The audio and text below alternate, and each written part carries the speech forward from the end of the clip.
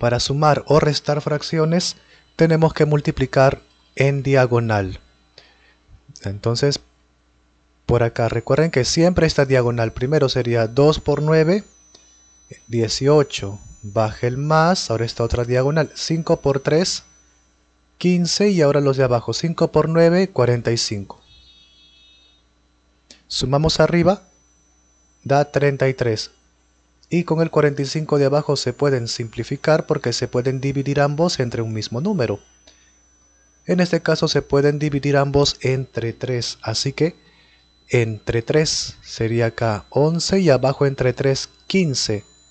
11 y 15 ya no se dividen entre un mismo número, por eso ahí termina. 11 quinceavos. Y fin.